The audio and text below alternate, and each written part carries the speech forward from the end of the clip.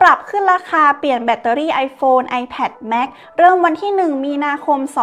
2566 นี้ แต่ละรุ่นราคาขึ้นเท่าไหร่ เดี๋ยวตามมาชมคลิปนี้ได้เลยค่ะ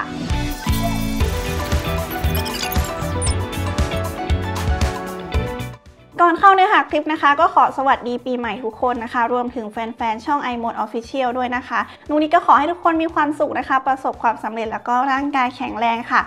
เดี๋ยวเรามาเข้าที่เนื้อหากันเลยนะคะ เพราะว่าล่าสุดเนี่ย Apple มีการประกาศว่าจะปรับขึ้นราคาการเปลี่ยนแบตเตอรี่นะคะ ทั้งอุปกรณ์ที่เป็น iPhone, iPad แล้วก็ Mac เลยสำหรับราคาจะเป็นยังไงก็ตามนี้เลยค่ะ สำหรับราคาการเปลี่ยนแบตเตอรี่นะคะ ที่อุปกรณ์ของเราเนี่ยหมดประกันไปแล้ว ถ้าจะเปลี่ยนแบตกับ Apple นะคะ ตั้งแต่วันที่ 1 มีนาคมเป็นต้นไปเนี่ยราคาเปลี่ยนแบต iPhone นะคะ ก็จะเป็นดังนี้เลย iPhone 13 iPhone 12 แล้วก็ iPhone รุ่นก่อนหน้านะคะ ราคาจะเพิ่มขึ้นอยู่ที่ 890 บาท ส่วน iPad ค่ะ ส่วนใหญ่นะคะจะเพิ่มขึ้นอยู่ที่ 1,499 บาท ส่วน Mac ค่ะ MacBook Air ทุกรุ่นเนี่ยเพิ่มขึ้นมาอยู่ที่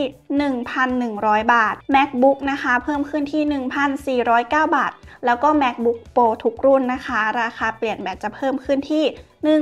1,409 บาทค่ะและสำหรับราคาการเปลี่ยนแบตตั้งแต่วันที่ 1 มีนาคมเป็นต้นไปนะคะ ของ iPhone, iPad แล้วก็ Mac นุนิกได้คำนวณมาให้แล้วนะคะ ราคาก็จะเป็นดังนี้เลยค่ะ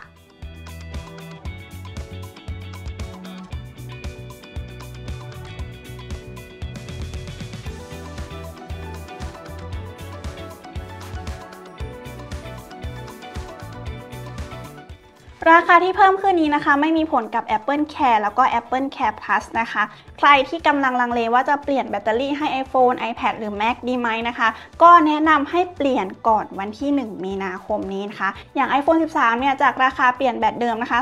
2,300 เนี่ย ขึ้นมาเป็น